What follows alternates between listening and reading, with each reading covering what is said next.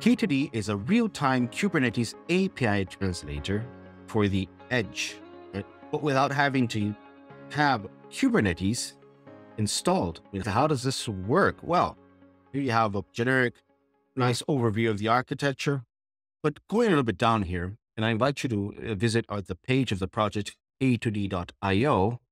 Down here, we see three little boxes that define quite well what K2D does. So the first one, Kubernetes without Kubernetes. It's, it's quite crazy, right? If you think of it. But what K2D does, it basically does this translation, as you see here in the transparent translator box, of the Kubernetes API into Docker or Podman. So this allows you to run a Kubernetes deployment on very small devices or machines.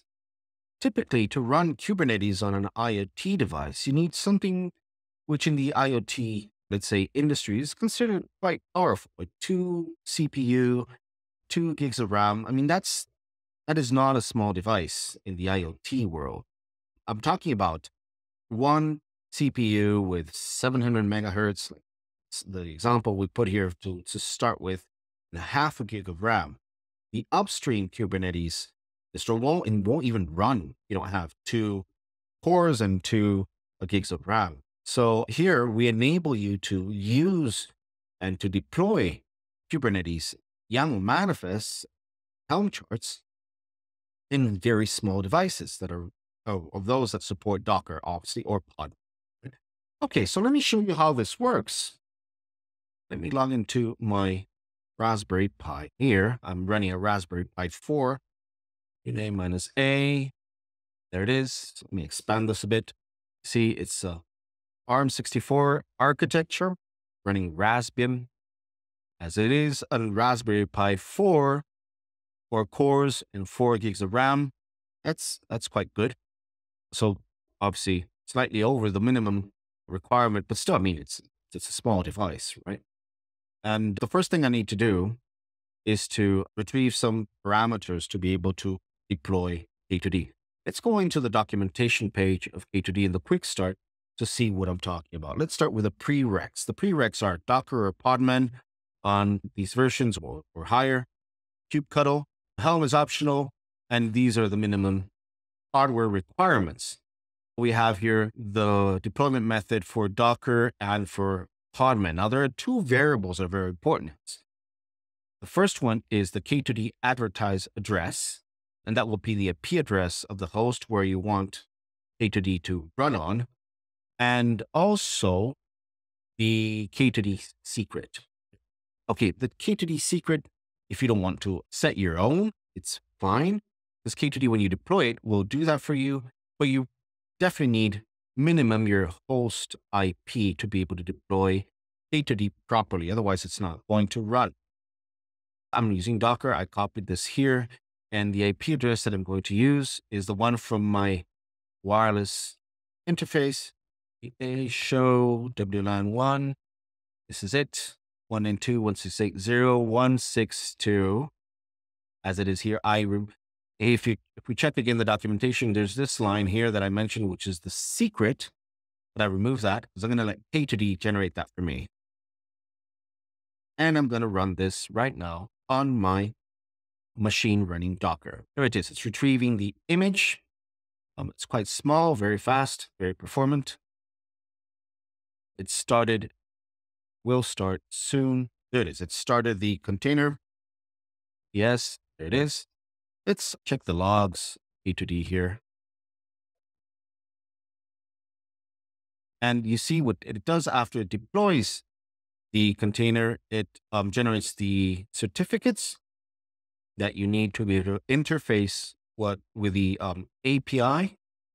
And once this, this is done, I'll be able to run kubectl or Helm on this device, but without having Kubernetes deployed. The last line of the log shows how to retrieve the kubeconfig to be able to interface with K2D here.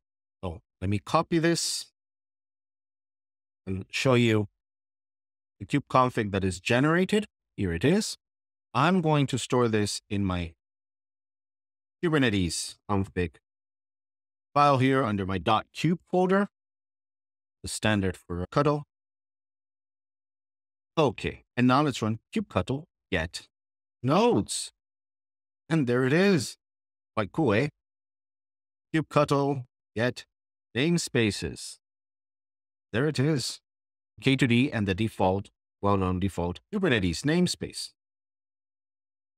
Docker PS is just, there it is. Kubernetes, actually K2D doing the translation of the Kubernetes API on Docker.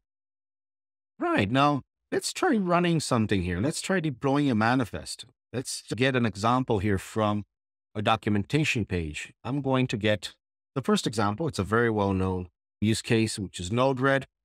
Here's the manifest.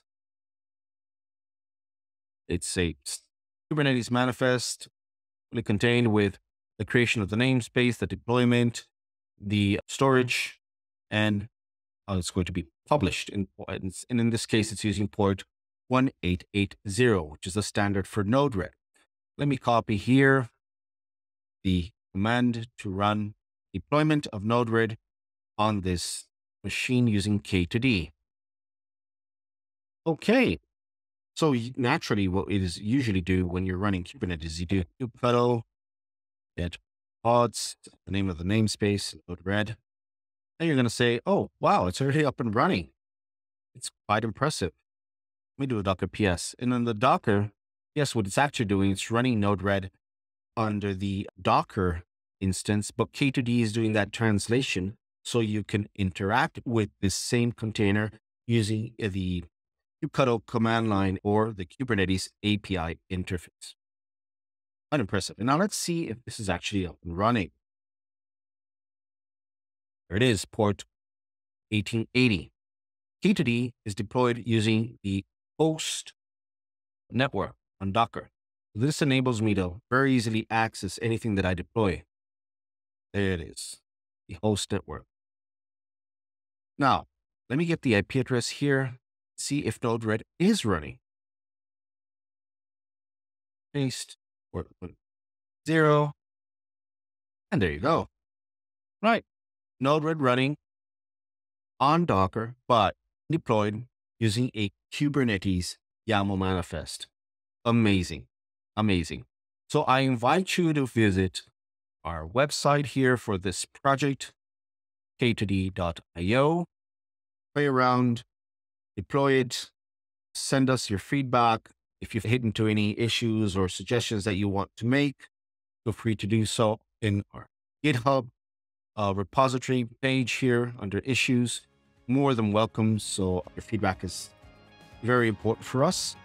And I hope you like this video. Thank you very much.